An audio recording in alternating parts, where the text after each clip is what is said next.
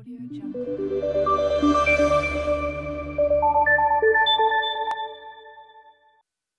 Дархуул аймгийн сургуулийн өмнөх боловсролын байгууллагын 2016-аас 2017 оны хичээлийн жилд хэрэгжүүлж байгаа ажлын хүрээнд багчуудын ертөнцөөр аялцгаая өдрлөг 2017 оны 5 дугаар сарын 28-нд дархан тавь зогсолборт боллоо.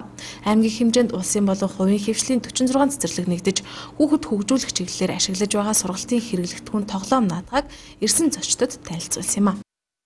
Дархан тавь зогсолборт дээр Дахин удаан төвд ажиллагаа явуулж байгаа сургуулийн өмнөх боловсролын байгууллагууд төрийн болон хувийн хвшлийн байгууллагууд нийтдээ 43 цэцэрлэг байгаа. Энд 7800 гаруй хүүхдүүд өнөөдөр энд сурч хүмүүжж байгаа. Бид нар бол сүүлийн одоо хугацаанд бол 6 одоо төрийн цэцэрлэг 16 хувийн хвшлийн цэцэрлэг байгуулагдаж 17 хувиар одоо хүүхдүүдийн хамрын сургалт нэмэгдсэн 90 гаруй хувьтай болсон. Энд бол одоо бид нар бас хувийн хвшлийн цэцэрлэгүүд маш олноор байгуулагдаж байгаа. Тэгэхээр өнөөдөр өдөр багшуудын ертөнцөөр аялье гэж ингээд цэцэр энэ одоо байгууллагууд маань 2016-аас 2017 оны хичээлийн жилд ер нь одоо цэцэрлэгийн орчинд цэцэрлэгийн орчинд бол хүүхдүүд яаж өсч хүмүүжж байдаг юм бэ? Мөн одоо тэнд үйл ажиллагаа явуулж байгаа хүүхдүүдийг ямар хоолоор яаж ундалдгийг тэрийг өнөөдөр үсгэлэн гаргаж байна. Сургууль цэцэрлэгийн эмчнэр ямар үйлчлэгийг үзүүлдэг юм бэ гэдэг эмчнэрийн бүлэг ажиллаж байна. Хувийн эмчлийн цэцэрлэгүүд маань бүгдээрээ өөрсдийнхөө хаяг байршиг тавиад ингээд танилцуулгуудаа хийж байгаа. Мөн одоо авиаслаг одоо хүүхдүүд маань өнөөдөр урлагийн тоглолт хийлээ.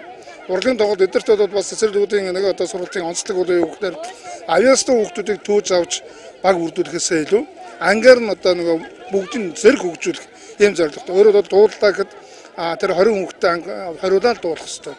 Бүжиглээ гэхэд 20 20 хүүхдтэй ангийн бүх хүүхд бүжиглэх хэрэгтэй. Тэрээс тэр 20 хүүхд дотроос хоёр нь сайн бүжиглдэг байгаа тэрийн дүүгээд авах таа биш.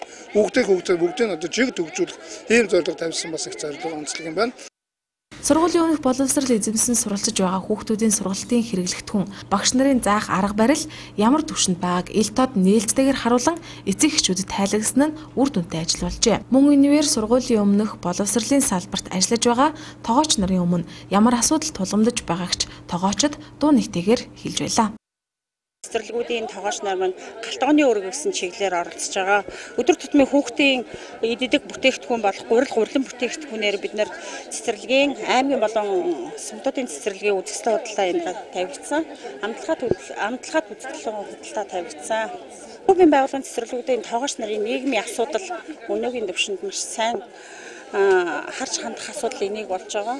Үүнд э, тоогооч нар маань зэргийн нэмэлт авдгүй 30% нэмэлт авдгүй улсад 35 жил ажилласан мөртлөө эдгээр урамшуул э, хуулиндаа батлагдсан урамшууллуудыг авдгүй энийг одоо цаашид өргөн хууль боловсруулах шатны хүмүүсэд анхааралтай аваач. Хамгийн бага цалинтай улсууд бол цэцэрлэгийн тогооч нар байдаг. Тэгээд цэцэрлэг цэцэрлэгээс зохиогдож байгаа бүхэл үйл ажиллагаанд бас л нэгэн адил багш нартай л нэгэн адил оролцдог. Гэтэл тэдний маань авдаг цалин сурж боловсрох тийм ээ хөгжих асуудал нь дандаа орхигдчихийдг юм. Энэ тал дээр л анхаараасай. Цаашид жил бүр хаврын баяр арга хэмжээний хүрээнд брэнд ажил болгохоор зохион байгуулагчид төлөвлөжээ. audio jungle.